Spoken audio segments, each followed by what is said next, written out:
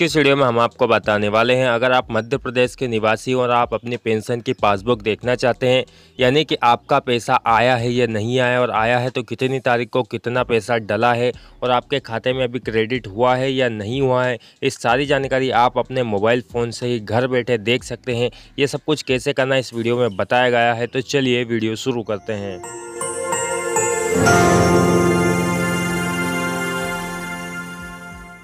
आपको आपके मोबाइल का कोई सा भी एक ब्राउज़र ओपन कर लेना है, उसमें आपको टाइप करना है एम पी पेंशन बस आप इतना लिखेंगे एम पी पेंशन और जो पहली वाली आपको जो लिंक दिखाई दे रही है, सामाजिक सुरक्षा पेंशन मध्य प्रदेश, इस पर आपको क्लिक कर देना है। इसका लिंक आपको इस वीडियो के डिस्क्रिप्शन में मिल जाएगा, आप वहाँ से भी सीधे इस पर आ सकते हैं।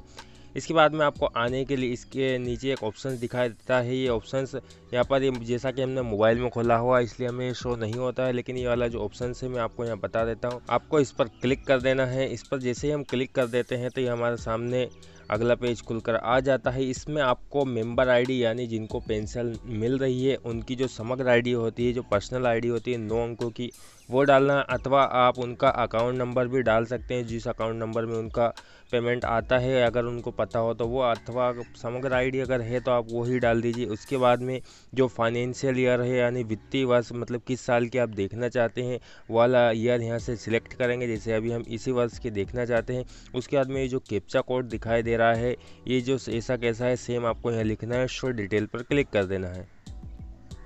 शो डिटेल करते ही हमारे सामने इस मेंबर की पूरी जानकारी खुलकर आ जाएगी। जैसे इनका डिस्ट्रिक्ट खुल गया है, इनकी लोकल बॉडी यानी नगर पंचायत, ग्राम पंचायत जो भी है वो खुल कर आ जाती है।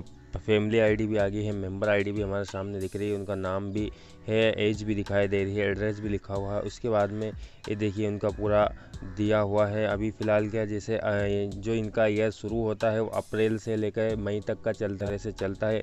तो इनका अप्रैल मंथ का पेमेंट देखिए, जो तीसरे नंबर पर बता रहा है, अप्रैल मंथ का पेमेंट जो है, इक्कीस बाईस का छः सौ रुपये इनके अकाउंट नंबर के आखिरी के चार अंक वो भी दिए गए हैं। आई कोड भी दिया गया है।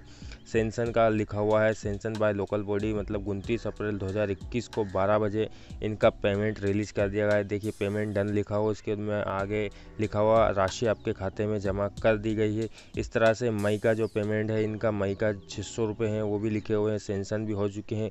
लेकिन अभी ये पेंडिंग में है, देखिए, यहाँ पर कुछ भी लिखा हुआ नहीं, जैसे नीचे वाले अप्रैल में पूरा लिखा हुआ था, पेमेंट डन, इसमें यहाँ पर कुछ भी लिखा हुआ नहीं है, यानी इनके अभी मई के अभी पेमेंट नहीं आया है। उसके बाद में अभी जो जून चल रहा है, जून का अगर हम देखें तो जून का भी अभी यहाँ पर पेंडिंग में, अभी तो यहाँ पर सेंसन ही नहीं हुआ है। जून का, मई का तो सेंसन हो भी गया था, लेकिन वो अभी आया नहीं है, लेकिन ये तो अभी पेंडिंग में यानी सेंसन नहीं हुआ है। वेटिंग में आ रहा है जैसे ये भी हो जाता है, ये भी इनके अकाउंट में आ जाएगा और यहाँ पर आपको जो रिमार्क है, यहाँ पर लिखा हुआ दिखाई देगा, आपकी राशि आपके खाते में जमा कर दी गई। इस तरह से आप किसी का भी देखना चाहते हैं तो बहुत आसानी से देख सकते हैं। सिर्फ़ यहाँ पर आप समग्र आईडी डालेंगे, उसके बाद में जो वित्तीय वर्ष है, वो सिलेक्ट करेंगे। जिस साल का भी आप देखना चाहते हैं, उस साल का देख सकते हैं। चलिए मैं आपको एक पिछले साल का इन्हीं का देख बता देता हूँ। जैसा कि अब की बार हमने इनका बीस इक्कीस का देख रहे हैं, जैसे बीस इक्कीस मार्च से शुरू होता मार्च का लिखा हुआ है। उसके बाद में ये देखिए यहाँ पर लिखा हुआ बीस इक्कीस का जो मार्च का पेमेंट था इनके खाते में देखिए पूरा पेमेंट डन लिखा हुआ है, सभी में पेमेंट डन लिखा हुआ है। पूरा छः छः सौ रुपये पूरे बारह मंथ का पेमेंट पूरा लिखा हुआ है। किस तारीख को कितना पेमेंट आया, वो आप बहुत ही आसानी से अपने मोबाइल फ़ोन से देख सकते हैं। अगर आपके घर में कोई किसी को पेंशन मिलती है तो आप उनका पेमेंट बहुत ही आसानी से उनको देखकर बता सकते हैं कि उनका इस मंथ का पेमेंट या पुराना जितना भी पेमेंट है, वो अभी तक असेंसन हुआ है या नहीं हुआ है। और हुआ है तो अकाउंट में आया है या क्या स्थिति है उसकी, वो आप उनको आसानी से बता सकते हैं। इसके अलावा अगर आपके आसपास कोई भी अगर रहते हैं, उनको पेंशन मिलती है, अगर उनको नहीं पता है तो उनको भी आप बता सकते हैं कि उनका पेंशन का पेमेंट आ गया है, वो कहीं भी जाकर उनका पेंशन का पेमेंट निकलवा सकते हैं। तो इस तरह से आप किसी भी पेंशनर की पासबुक बहुत ही आसानी से अपने मोबाइल फ़ोन से ही जस्ट दो मिनट में आप देख सकते हैं। इस तरह के वीडियोस देखने के लिए हमारे चैनल को कीजिए सब्सक्राइब। ये वाला वीडियो अगर आपको पसंद आया तो वीडियो को कीजिए लाइक। जुड़ रही है हमारे साथ, धन्यवाद।